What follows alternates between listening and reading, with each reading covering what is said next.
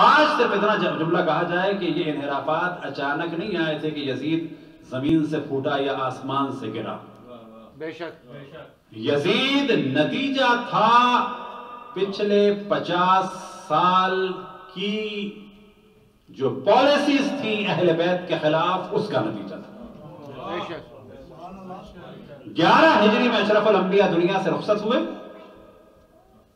اکسٹھ ہجری میں واقع کربلا ہوا۔ تقریباً پچاس سال جو اہل بیت کے خلاف سازشیں ہوئیں اور بہت واضح ہے سازشیں کہاں سے شروع ہوئی اس کو کھل کے ڈسکس کریں۔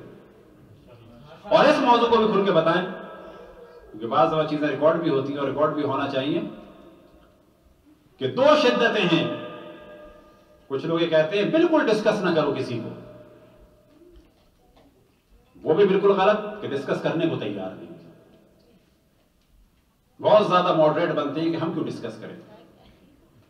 دوسری شدت یہ ہے وہ بھی ڈسکس نہیں کرتے وہ گالی گلوچ کرتے ہیں۔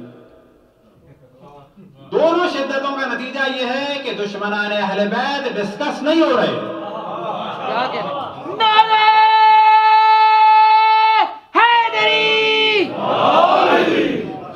ہماری ذمہ داری یہ ہے کہ دشمنان اہل بیت کو ڈسکس کریں اس طریقے سے ڈسکس کریں کہ جو پڑھے لکھے لوگوں کا طریقہ ہوتا ہے۔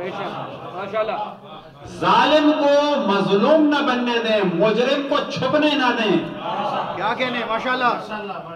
تو قتل امام حسین در حقیقت اس کی بنیاد پڑی تھی بلا تکلف کہا جا سکتا ہے سقیفہ بنی سادہ۔ بنی سعادت